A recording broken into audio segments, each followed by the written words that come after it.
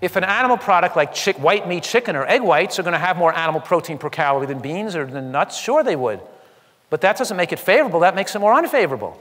You don't have to refute it. You can say, yes, it has more protein. That's why you shouldn't be eating it.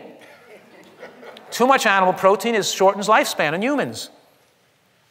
And, you know, and, and there are all these world-class athletes that are winning all over the place and doing great that are getting their athletes from, that you get plenty of protein on a plant-based diet.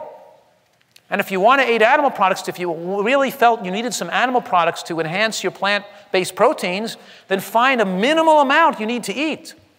You know, keep it, on, you know, keep it under maybe a, a small amount, like two or three ounces a day. I don't recommend people have more than six to eight ounces a week. But if an athlete wanted to eat two or three ounces a day, then, have, then eat, get more of your proteins from plants and less from animal products. Otherwise, you're going to be dramatically shortening your lifespan and doing something that's dangerous.